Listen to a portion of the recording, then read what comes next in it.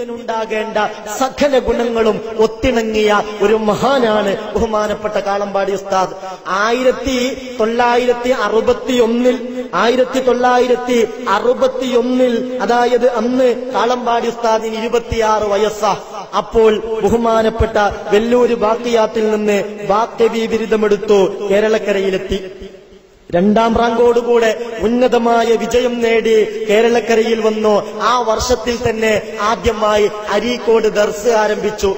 പിന്നെ കേരളത്തിന്റെ വ്യത്യസ്തമായ ഭാഗങ്ങളിൽ മൈത്രയിലും മുണ്ടമ്പറമ്പിലും മുണ്ടക്കുളത്തും അങ്ങനെ പലയിടങ്ങളിലായി ദർസ് നടത്തി. പിന്നെ പട്ടിക്കാട് ജാമിയ നൂരിയയിലേക്ക് പോയി. അവിടത്തെ ഏറ്റവും വലിയ വെളിച്ചമായി തിളങ്ങി നിന്നു. അങ്ങനെ വഫാത്താകുന്നതിന്റെ തലേന്ന് പോലും ഇരുപത്തിയാറാമത്തെ വയസ്സിൽ തുടങ്ങിയിട്ട് എഴുപത്തിയൊൻപതാമത്തെ വയസ്സിൽ വഫാത്താകുന്നതിന്റെ തലേന്ന് പോലും മണിക്കൂറുകളോളം തുഹത്തുൽ മുഹ്താജിന്റെയും സഹീഹുൽ ബുഖാരിയുടെയും മുന്നിൽ ആ മഹാൻ സമയം ചെലവഴിച്ചു. പതിനാല് ഹദീസുകൾ വഫാത്താകുന്നതിന്റെ തൊട്ട് മുമ്പ് മഹാനായ ഉസ്താദ് ഏറ്റവും അവസാനം എടുത്ത ക്ലാസ് സഹീഹുൽ ബുഖാരിയുടെ അസഫുൽ കുത്തുബി കിതാബില്ല.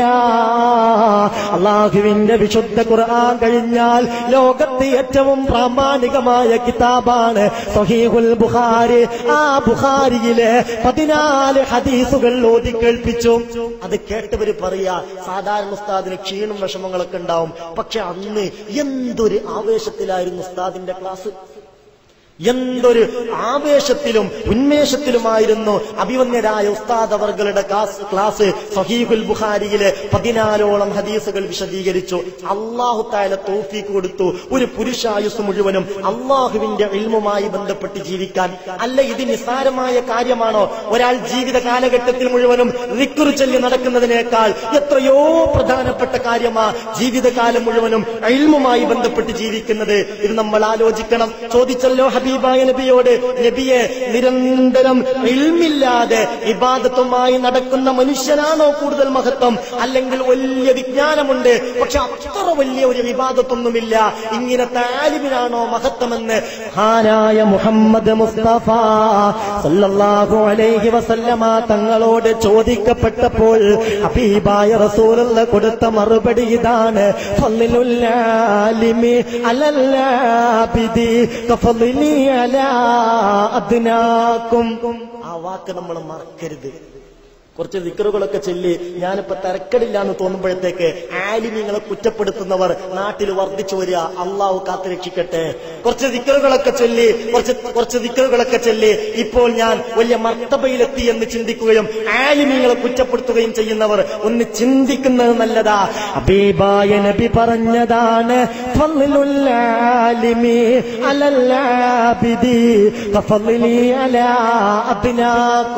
എന്താ ഹദീസിന്റെ അർത്ഥം?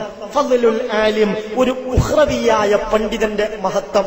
യഥാർത്ഥത്തിലുള്ള ഷറഇയായ ഇൽമ് വേണ്ടതുപോലെ പഠിച്ച ഒരു ആലിമിന്റെ ഫളിൽ അലല്ലാബിദ് ഒരു ആബിദിനേക്കാൾ ആബിദ് എന്നാൽ നിരന്തരം പറന്നൊക്കെ കൃത്യമായി നിസ്കരിക്കും മുമ്പുള്ള സുന്നത്തുകൾ നിസ്കരിക്കും ശേഷമുള്ള സുന്നത്തുകൾ നിസ്കരിക്കും ഒരുപാട് വിക്രുകൾ നടക്കും. പക്ഷെ എന്തോ കാരണത്താൽ വേണ്ടതുപോലെ വിശദമായി പഠിക്കാൻ കഴിഞ്ഞിട്ടില്ല.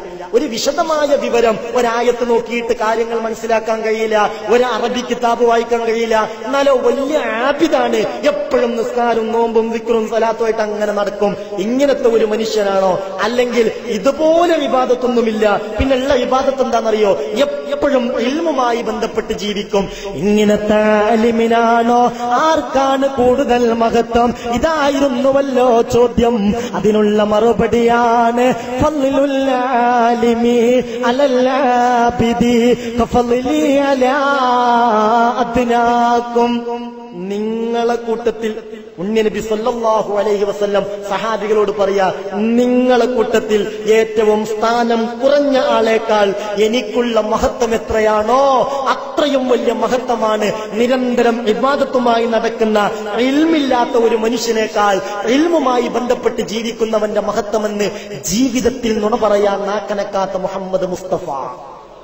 സല്ലല്ലാഹു അലൈഹി റബ്ബേ അപ്പോൾ കാളമ്പാടി ഉസ്താദിന്റെ ഒരു മഹത്വം എത്രയായിരിക്കും?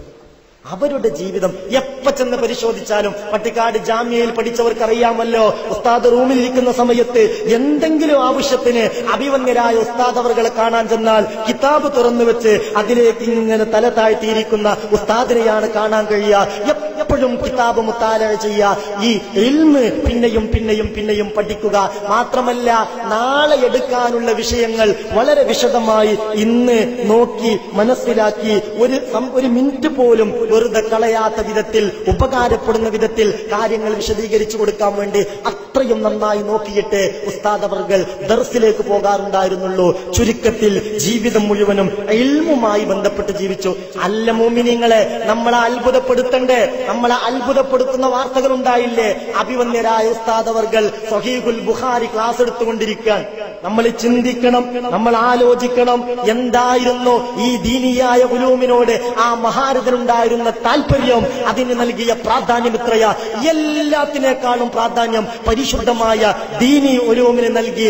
അതായത് സഹീഖുൽ ബുഖാരി ക്ലാസ് എടുത്തുകൊണ്ടിരിക്കാൻ ആയിരത്തി തൊള്ളായിരത്തി തൊണ്ണൂറ്റി എട്ടിൽ അന്ന് ഉസ്താദവർഗളുടെ രണ്ട് മക്കൾ പതിനഞ്ച് വയസ്സുള്ള സൗദ എന്ന് പേരുള്ള ഒരു പെൺകുട്ടിയും പതിനെട്ട് വയസ്സുള്ള സൈനബ എന്ന് പേരുള്ള മകളും അവർ രണ്ടുപേരെയും ഒരു കല്യാണത്തിന് പറഞ്ഞയച്ചു. അങ്ങനെ ഉസ്താദ് ബഹുമാനപ്പെട്ട ജാമ്യയിലേക്ക് എത്തി ബുഹാരി ക്ലാസ് എടുത്തുകൊണ്ടിരിക്കാണ് ഈ കല്യാണ ജീപ്പും ബസ്സുമായി അപകടത്തിൽ അപകടത്തിൽപ്പെട്ടു ആക്സിഡന്റിൽപ്പെട്ടു ഉസ്താദിന്റെ രണ്ട് മക്കളും മരിച്ചുപോയി. തൽക്ഷണം മരിച്ചുപോയി. അങ്ങനെ ജാമ്യയിൽ വിവരമറിഞ്ഞു. അറിഞ്ഞവരൊക്കെ വല്ലാത്ത വിഷമത്തിലായി. എങ്ങനെ ഉസ്താദിനോട് ഈ കാര്യം പറയും? ഉസ്താദ് ക്ലാസ് എടുത്തുകൊണ്ടിരിക്കാണ് അവസാനം വിവരമറിയിച്ചു. വിവരമറിയിച്ചപ്പോൾ ആ മുഖത്ത് പ്രത്യേകമായ ഭാവപ്പകർച്ചയൊന്നുമില്ല. പകർച്ചയൊന്നുമില്ല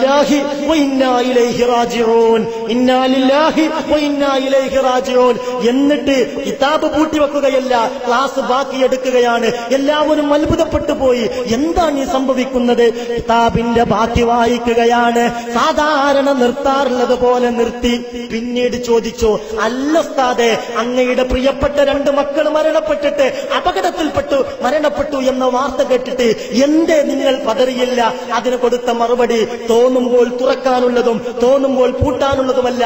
സഹീഹുൽ ബുഖാരി അത് അദബ് കുരുത്തക്കേടാണെന്ന് പഠിപ്പിച്ചു കൊടുത്ത ആ മഹാനിൽ നിന്ന് നമ്മൾ പാഠം ഉൾക്കൊള്ളണം. നമ്മളെ കഥ എന്താ? ഖുർആൻ ഓതുകയാണെങ്കിൽ പ്രശ്നമല്ല ഹദീസ് വായിക്കാണെങ്കിൽ പ്രശ്നമല്ല. അതിനിടയിൽ എന്തെല്ലാം സംസാരങ്ങൾ നമ്മൾ നടത്തും? നമ്മൾ ആലോചിക്ക്. ഖുർആൻ കേൾക്കുന്ന സമയത്ത് ഹദീസ് കേൾക്കുന്ന സമയത്തൊക്കെ സംസാരിക്കുകയാണെങ്കിൽ അതത്ര വലിയ കുരുത്തക്കേടിന് കാരണമാകും. അള്ളാഹു കാത്തു രക്ഷിക്കുമാറാവട്ടെ.